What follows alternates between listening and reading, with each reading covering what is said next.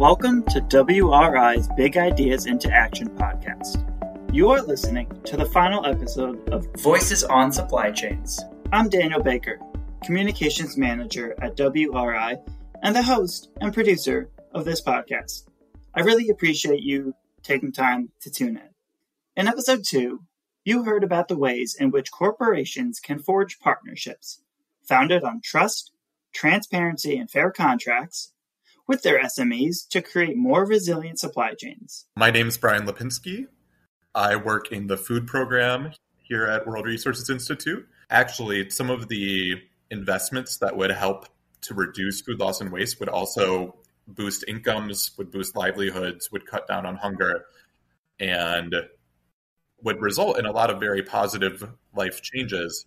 But in many of those cases, the smallholder farmer may not have resources available to make the sort of investments that are needed.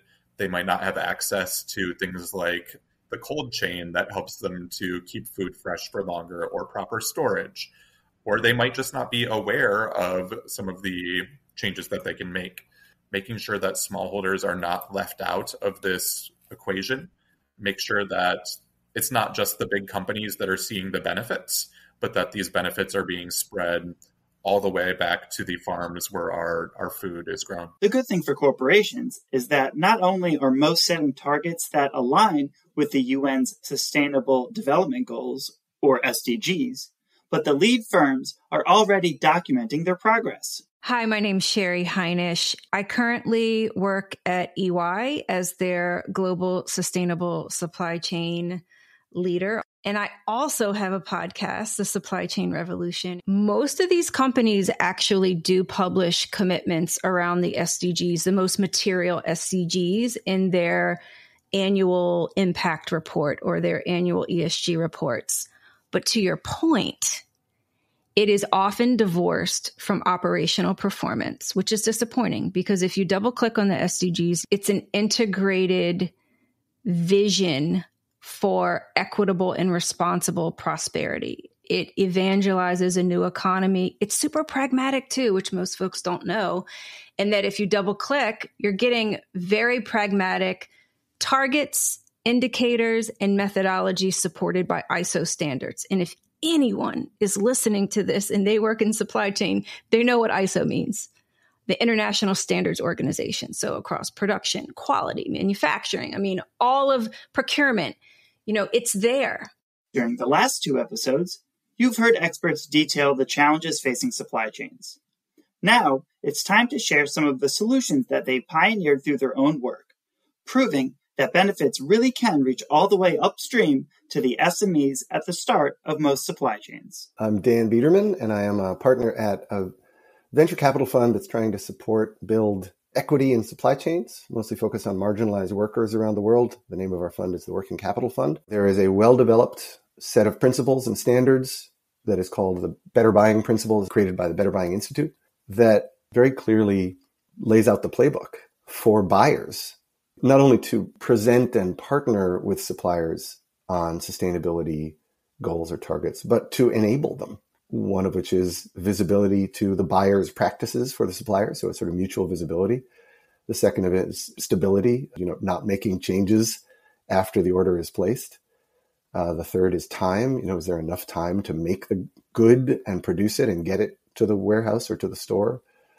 Is there a fair financial arrangement? Is, is the buyer paying enough for the garment to enable the supplier to provide it in a sustainable way?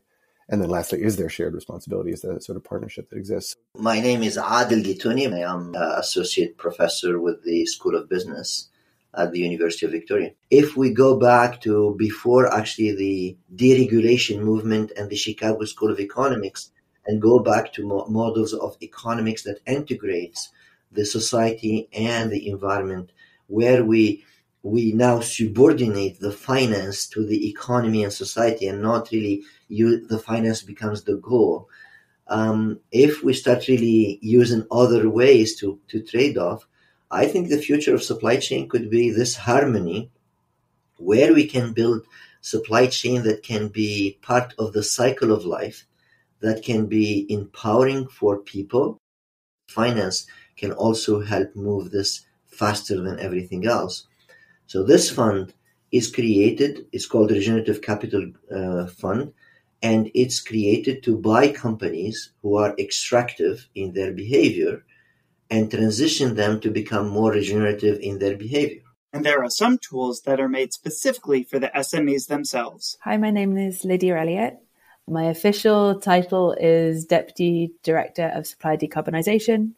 And as part of that, I work a lot on the SME Climate Hub and also on the tools that SMEs need to take climate action and how we can digitally deliver those in the right way. So the SME Climate Hub aims to be a kind of one-stop shop for SMEs to take climate action. Um, at its core, it's a digital platform, and that digital platform delivers a few things for SMEs. So it's a place where they can learn more about climate action, sign up to a newsletter, start learning about it, start thinking about it. Um, it's a place where we have lots of tools. So we have, you know, a emissions calculator, and then we have action guides if you want to look at renewable electricity. Here's two pages on how you should think about that. The kind of other core of the SME Climate Hub is a net zero commitment where SMEs commit to be net zero by 2030, 2040, or 2050. They commit to halve their emissions and to report annually. And that commitment is a route into the race to zero. So it's designed to be, you know, a way where any small business can access the kind of credibility that a bigger business could, but I can do it for free. And that is aiming to thread a very fine needle, which is how do we create something that is appropriate for an SME in terms of the number of questions and in terms of the level of detail, but is something that a big multinational or bank would look at and say, this is a credible amount of information and I'm happy with it. From a big corporate perspective, I think that they see it as a resource that they can send SMEs to, um, especially as a way to get small businesses started on the climate journey. There are some promising examples in the corporate world. I'm Taj Eldridge. I am the managing director for climate innovations at JFF Labs. Patagonia is a perfect example of an organization that understands both their role in the climate space and having a climate friendly future, as well as their suppliers in that space as well that come into the supply chain? My name is Becca Coughlin, and I am the Senior Advocacy Manager at Remake. Remake is an advocacy organization fighting for fair pay and climate justice um, in the fashion industry. The Scandinavian brand Ganni adopted a buyer code of conduct, so introduced some of those responsible contracting principles into their own contracts with their suppliers. A really good example is SAP's commitment. It's called 5 by 5 by 25, where they commit to direct 5% of their total addressable spend, so their procurement dollars, to social enterprises and 5% to diverse businesses by 2025. Tesco, which is a UK based retailer. And so Tesco actually was the first large retailer to start disclosing their own food waste data, which was a huge step. No other company their size had done that. And then what they started doing is they started asking their suppliers to do the same. And so they've been partnering with their suppliers to encourage them to report food waste data publicly, to commit to ambitious targets to reduce that food waste. So that's a really exciting example. And what they've been doing is now they've been going even further upstream and they've partnered with some other organizations, some other NGOs to do research at the farm level of trying to understand more about what the extent of food loss and waste on the farm is, what some are some of the barriers to addressing that. It turns out it's a much more significant issue than we globally had previously thought. So I would say that's an example of a company that's really understanding that you can't just stop at one stage and say, well, we did our part. And next, you'll hear from Vicky Sins at the World Benchmarking Alliance. Vicky leads the work examining the credibility of decarbonization and energy transition plans for some of the world's biggest companies in the highest emitting sectors. In Spain, there are some really good examples about companies who have entered into tripartite agreements between companies, labor unions, and then with the government to really look at how does then upskilling or reskilling and also relocating people and jobs to different regions. What does that look like and what type of support is needed from other stakeholders other than the companies themselves? A coffee brand decided that they wanted to lead with purpose and use innovation, specifically in blockchain and in B2B payments, to not only give customers that transparency. So if they scan a QR code, they can see in app the source of their morning Joe and the life cycle of that bean of coffee. And what was interesting, it wasn't just the journey, it was the ability in app to go all the way upstream and actually thank your farmer. We have over what 25 million smallholders globally. And that ability to feel like you're connected to, you know, the first mile of a supply chain. The other innovation was being able to tip your farmer and donate to a community based project that was anchored in a sustainable development goal. So it could have been quality education where they were trying to build a school or this specific brand and where they the source community they wanted clean water initiatives. There are a lot of different programs that were pre populated for someone like you or I with a few clicks within a 20 second cycle. We could very quickly feel connected also to that community. Partnership is more than a link between a single corporation and their SMEs.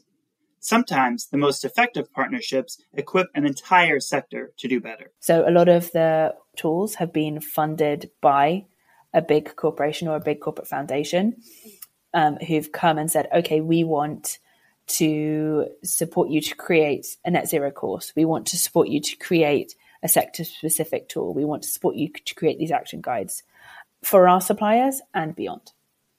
And I think that's a really nice attitude to take that it's it's almost like saying, okay, in this sector, we need to have a solution to the uptake of EVs. Let's actually say, I don't care if it's my supplier or someone else's supplier, but I want all the suppliers in this sector to have an uptake of EVs, and I am going to go out and fund a course to do that. So I've seen a lot of that, and that I think has worked very well and is a quite a, a nice attitude to take that it's not just your suppliers, but it is just, you know, you want the whole of your sector supply chains to get better? IKEA a few years ago, they had the scandal of the rugs in the cotton and so on supply chain from India. This is a private company. There is no shareholders pushing them, but they decided actually to move to sustainability and they created the Better Cotton Initiative, which has now more than 2.4 million farmers around the world applying the same principle where you're using the, the water consumption, where you're using the tilling, where you're reducing your carbon emissions, your water emissions, and so on, to have a more sustainable cotton. But not only that, they came with an agreement about how they share the value with these farmers. With I, with WWF investing in school, investing in hospitals, and so on, and lifting up huge like villages out of poverty. So now you can see how the supply chain became a force for good. But what they have done as well, they have reduced the risk of cotton as a commodity because now they have a dedicated supply chain of cotton. Maybe it's greenwashing, maybe it's not, but the results are there and how they were able to lift out out of poverty. There are even farmers from that ecosystem. They patented the new cotton. The idea of wages was a consistent theme during our interviews. I keep coming back to this idea of a living wage. You know, workers in Bangladesh are not even paid enough to adequately nourish themselves and their families, let alone rebuild time and time again after back to back, you know, climate shocks. And so by raising wages and supporting, you know, governments raising minimum wages, you know, brands can support workers in these endeavors as they fight to to raise the minimum wage. Living wage and fair living wage are not the same. I just want to start there. So living wage doesn't mean that people are being paid equitably and that by sourcing from lower quality um, countries of origin or countries where you can actually take advantage of communities and pin them against each other so that's it's still that lowest cost, lowest price versus highest value and doing the right thing. I do want to pull that out. A, a fair living wage is going beyond the ability to meet basic needs. You're going to have that 10 to 15 percent emergency and discretionary income. Um, so, and, and also it's distributed in the same way where, if, you know, a woman uh, in the global south is doing a role, she is being fairly and justly compensated for her equivalent in another part of the world, potentially in the north or the northeast of the states where I live, for that same job. And that simply doesn't happen. More than money, leading corporations invest in education and skills development for those working in their supply chain. A good example, of good practice of a, of a big company understanding and taking into account the needs of the workers in its SME suppliers is Apple's supplier employee development program. They made a $50 million commitment to provide workers in their supply chains with essentially skills based and rights based education, including digital education, so that those workers can become productive parts of their employers' operations so that those employers operate more productively with a happier and, and more consistent set of workers, ideally. Uh, it's education that got us in this mess, and it is the education that will get us out of this mess. So we need to start educating ourselves, educating the new generation, educating uh, these business leaders uh, to move actually to this direction. And if you know a little bit about the total quality concepts of the Japanese and so on, and why they created these circles of quality and so on, and they empowered the workers to stop the production system when they detect there is a problem, right? So the same thing with this. You need to empower the workers that are there to stop the production system if they actually see there are problems with the supply chains. And I think yes, the wage is important um, because what that also does is that that ensure that that you know there's stability there's the opportunity for those workers to stay at a company and to grow but also too in addition to to wages i call it a pathway to increased performance or pathway to, to job security where people are having opportunity to get other skills into this into this space. What does the future hold? We're not sure. But that didn't stop us from asking the experts to predict what supply chains might look like in the year 2100 i'm jason judd. I'm the executive director of the Global Labor Institute at Cornell University in New York. There's long been a dream on the part of chiefly buyers and suppliers that they can accelerate automation in their factories. So it, it may be that in 2100, factories are largely or fully automated, but it's still now a, a labor intensive process. So you'd have to be in a place where affordable energy is abundant and is not jacking up your emissions. And that's a problem the industry hasn't uh, hasn't solved. I'm not sure it's been solved anywhere. And going back to the Cornell research, um, the financial implications of doing nothing, of companies doing nothing, are so huge that maybe, even if it is sort of a profit driven change, companies will sort of see the light. My name is Jacques Leslie. I write frequently for Yale Environment 360.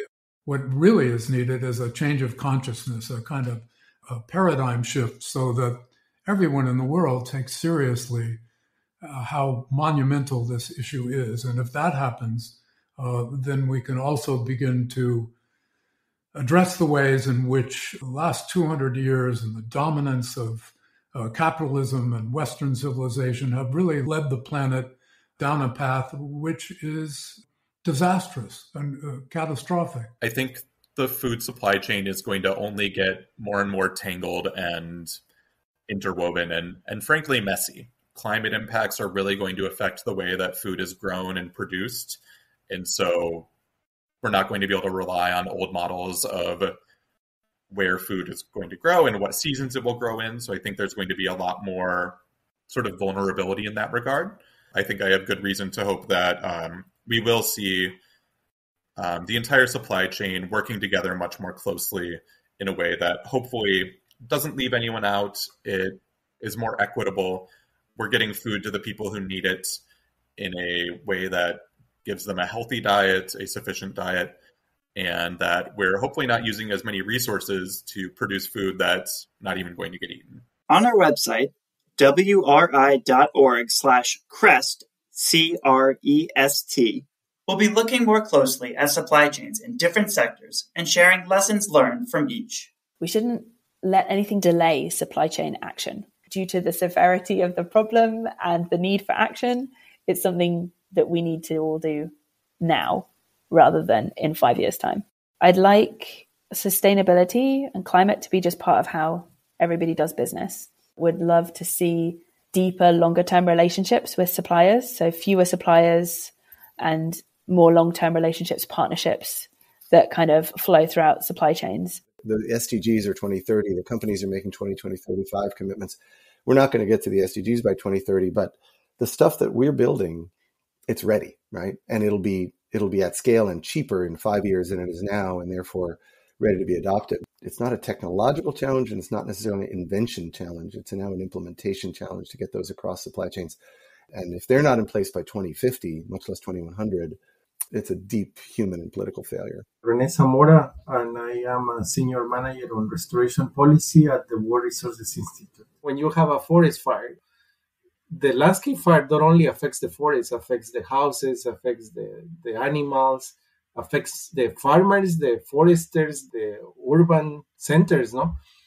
And when you have a common enemy, then you can start to collaborate more. So I am hopeful that this crisis will allow us to see more collaboration around the actors of the value chains, that then we will become more resilient and then we will change, no, for sure, no? By now, we hope that you see the connection between the choices that corporations can make to support the small businesses they work with to build global supply chains that are resilient enough to withstand the inevitable disruption of a drastically changing climate. Thank you to all of our guests who lent their expertise and insights for this edition of Voices on Supply Chains.